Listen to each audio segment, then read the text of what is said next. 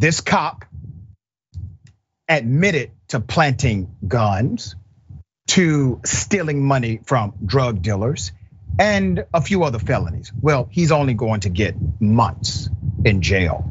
Let's put his picture up full mass here.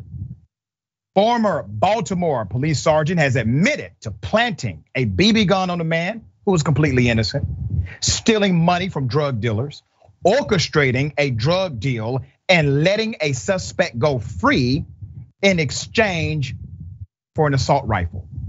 He will spend roughly 21 months in federal prison, and that is it. That is all. Now, these are the things he admitted to. Believe me, there's a whole lot he decided not to fess up to. Keith Allen Gladstone, let's keep his picture up, pleaded guilty to conspiracy to commit or to deprive liberty without the due process of law. That's a constitutional violation. That's what makes it federal. Three years ago, he did this. He also agreed to testify against other corrupt officers, and he did, including the leader of the notorious gun trace task force, known for exploiting and abusing black people and known for dirty police practices. Gladstone had prosecutor granted immunity when he confessed to the other crimes. He gets caught. He says, listen here, right?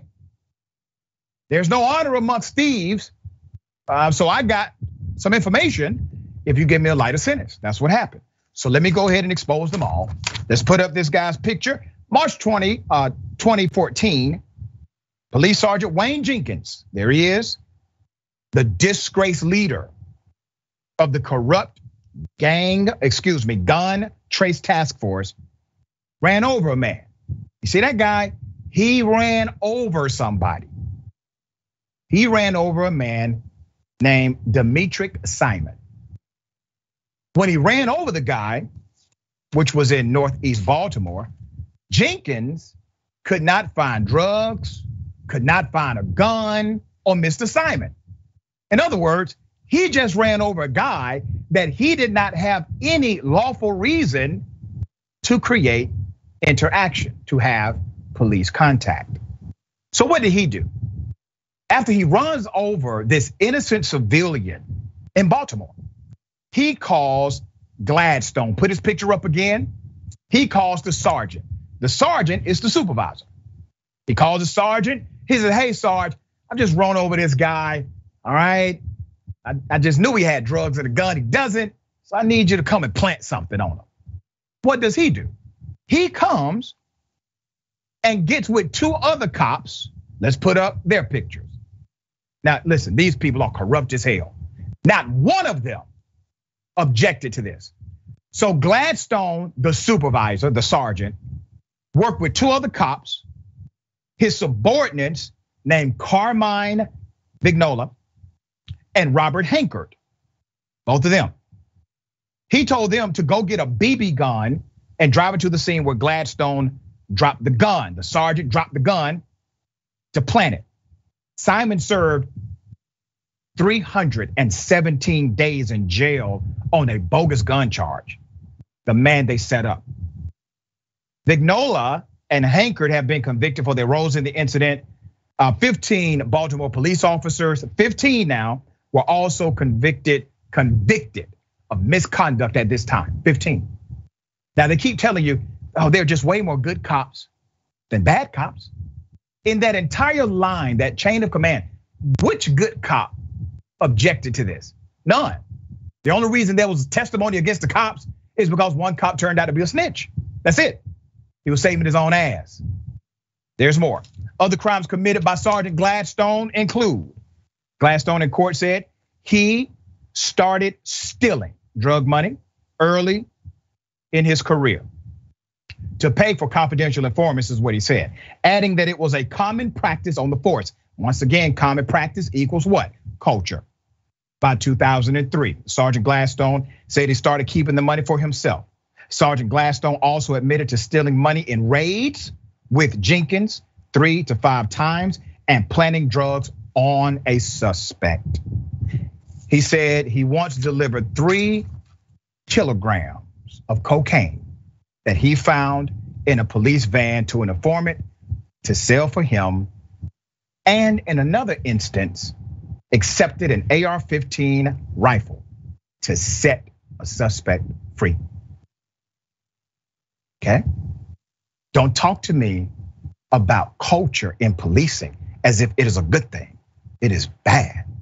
You got to stop thinking reform and start thinking replacement. These cats are rotten to the damn core. There is no help for them. There is no sensitivity training, no new policy. You gotta lock them up, let them go.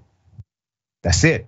One of Gladstone victims, Mr. Simon said in a statement, it was dehumanizing what happened to me. Just think about this. The man had a gun on him that he didn't have. I appreciate Sergeant Gladstone testifying against other officers, also responsible, but only after he was caught red handed. But that's what a narcissist does. He never apologized. He never showed remorse, not to me, not to the people of Baltimore. Simon has now filed a $17 million lawsuit against the police department, Gladstone, Hankard, Magnolia, and the officers involved in the scheme. Good for him. He should get more. Now, what is he about to do? He's about to defund the police. Why, why will the police be defunded? Because of corrupt ass cops. You don't have any issue with police being defunded because of the police, but you'd have, have an issue with Black Lives Matter doing a rally saying defund the police. All right. Uh, thoughts on this one? They plant the drugs and weapons. Uh, they take the the drugs, the money. They plan some exchange for this cop to get an assault rifle, get the assault rifle, get the weapon. They run people over, but they are supposed to be the people who enforce the law. They're so bad at catching criminals that they had to plant evidence in this case. That's insane. How much corruption needs to happen before it's generally accepted that this is a corrupt institution? They're framing others for violating the law and orchestrating arrests with planted evidence. This is not just powerful people being above the law, this is them willfully violating it while framing others for doing the same thing. I really think we need to interrogate you know, where can we better spend this money to keep people safe? A lot of people are afraid of the notion of defunding the police because they think the police bring about safety. It's very clear when we look at all of these instances that they do not. So it's time for everyone to start thinking where would that money be better spent to actually make our communities better? That's right. You have to shift from a policing paradigm to a public safety paradigm. The idea is public safety, not policing. When your city brags about hiring more cops, that's something that they should be ashamed of because what they're saying is that they have increased crime, they have no idea how to deal with it, no idea how to prevent it, so they're just going to pay more cops that only solve crimes at a rate of less than 1%.